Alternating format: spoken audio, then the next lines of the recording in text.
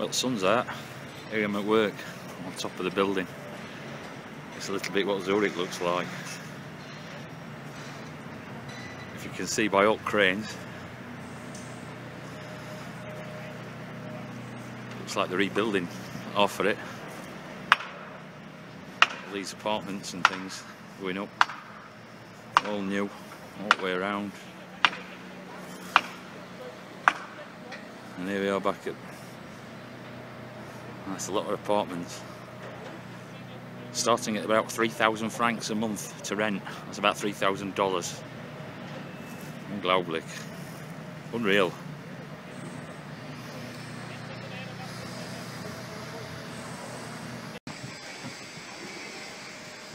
Yeah, this is where I'm working in Switzerland. We're building this.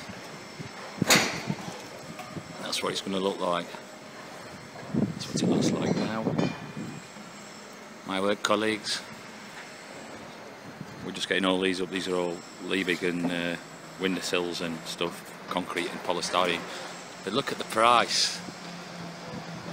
A two and a half Zimmer means it's got um, two rooms and a bathroom and a kitchen.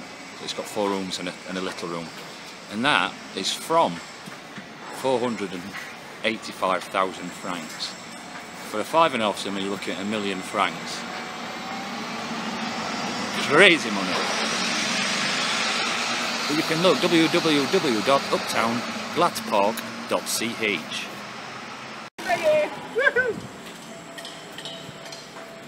There's one for Bruce. That might interest you, mate. It's my tool of choice today. My lift. Say hello, hello, hello. YouTube. YouTube. Huh? Hello, YouTube. Hello, YouTube. Jetzt in der Schweiz.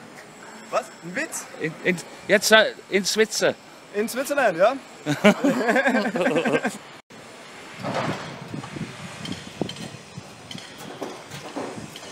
and this is all new. These are only allowed for buses on here. And police. We're just outside airport in Zurich. It's just like a new sector what they're, what they're building.